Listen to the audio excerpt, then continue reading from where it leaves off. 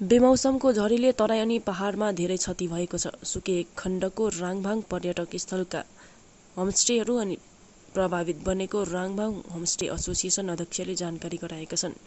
झरीले क्षेत्र प्रभावित बनेको समय होमस्टेमा रहेका पर्यटकहरूलाई सुरक्षा अनि सुविधा दिन होमस्टेका सबै कर्मचारी अनि मालिकवर्ग लागि परेको बताए।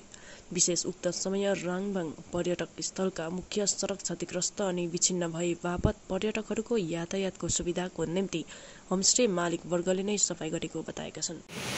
अच्छा तपाईँहरू होमस्टेको प्रेसिडेन्ट साथै प्रतिनिधि हुनुहुन्छ अनि होमस्टेलाई यति बेला कतिको असर परेको छ बर्खा धेरै धेरै धेरै नै असर गरेको छ हिजोको हिजोको लगभग अहिलेसम्ममा हाम्रो चौबिसदेखि छब्बिस घन्टा पानी पर्दाखेरि धेरै असर गरेको छ हेर्नुहोस् हाम्रो रातभरि सुकाइ छैन त्यो प्रकारले हामी हिजो रातिदेखिको लगभग दस बजीदेखिको अहिलेसम्म हामी खटि नै रहेको छौँ सर्वप्रथम त अब यहाँको बाटोलाई धेरै नै असर गरेको छ यसले र हाम्रो गेस्टहरू पनि भर्खर विचारहरू यहाँ बसिरहनु भएको छ कि हामी भर्खर बाटो मात्रै क्लियर गर्दछौँ। उहाँहरू पनि बिजनबारी हामीले आज ड्रप पठाउनु पर्ने हो। र चाँडोभन्दा चाँडो हाम्रो चाहिँ कोसिस यही नै छ कि जसरी भए पनि यो बाटोलाई क्लियर गरेर उहाँहरूलाई चाहिँ सेफली उहाँहरूको डेस्टिनेसनसम्म पुऱ्याउने हाम्रो मिसन छ अहिलेको चाहिँ होइन? र त्यस्तै प्रकारले अरू पनि अब जस्तै होमस्टेको बाटोदेखि लिएर होमस्टेको जति पनि लोकेसन छ त्यो लोकेसनहरूमा पनि धेरै असुविधा भइसकेको छ। खोलाको नजिक पर्नाले गर्दाखेरि सबै के अरे खोलाहरूको चाहिँ यहाँनिर अब एन्डिङ पोइन्ट हुँदाखेरि त्यो हुँदाखेरि चाहिँ घर घरमा भल पसेर तपाईँले देखिरहनु भएको छ। अब होमस्टेहरूको हिजो पनि हामीले कतिवटा होमस्टेहरूबाट के अरे टुरिस्टहरूलाई लिएर हामीले सेफली हामीले राख्नु सफल भयौँ। तर एउटा हामी ईश्वरलाई पनि धन्यवाद दिनु सक्नुपर्छ कि हामीले हिजो बेलुकाको जुन त्यो एउटा लडाइँ थियो हाम्रो प्रकृतिसँग एक प्रकारको हुनु त प्रकृतिसँग को लड्नु सक्छ र तरै पनि हाम्रो कोसिस जारी थियो।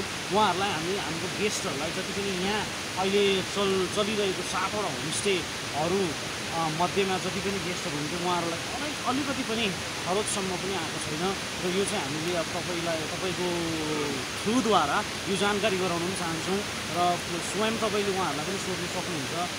अब त्यस्तै हो वर्षाले बर्खाले गर्दाखेरि पानीले गर्दाखेरि हुनु त यो सिजन त होइन पानी आउने तरै पनि अब के गर्नु एउटा यो प्राकृतिक आपदा आपदा भनौँ नेचुरल डिजास्टर भनौँ।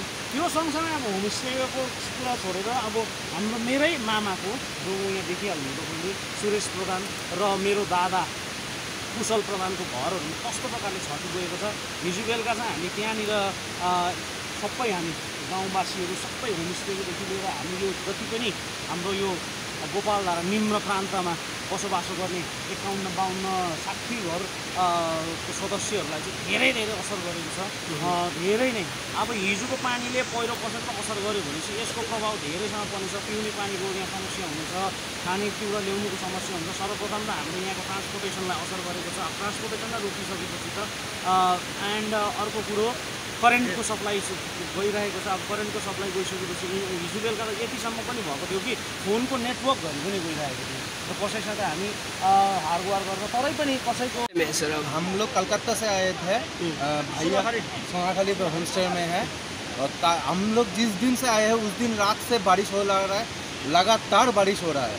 लेकिन एक बात सबसे अच्छा लगा ये भाई लोग का जो इतना हम लोगों के लिए इतना करा अच्छा। इतना सेवा दिया इतना सर्विस दिया है भाई लोग ने हमें किसी भी चीज़ का कोई दिक्कत होने नहीं दिया। अच्छा जब भी बुलाया भाई लोग को भाई लोग उस वही टाइम ही जितना रात हो उतना वही रात में भी हमारे पास आ गए सर्विस देने के लिए। ये इसमें क्या कर सकते ऊपर वाला जो चाहता है वही हो रहा है ऊपर वाला साथ दे रहा है तो सब कुछ ठीक होगा नहीं दे होगा तो क्या करे और जैसा हो रहा है वैसा ही चलेगा क्या है। डर है कि नहीं?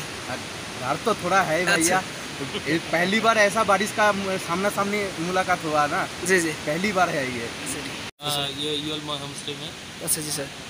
अच्छा कल जो घटना हुआ है वो इसके विषय में क्या कल कल लगभग दस साढ़े दस बजे बाढ़ आया और हमारे जो होम स्टे का ओनर है वो उन्होंने जो हॉस्पिटलिटी दिखाया और जो एल आर सी टी दिखाया वो हम आभारी है। अच्छा। तो हम यहाँ से ऊपर चले गए दूसरे होम स्टे में होम स्टे में।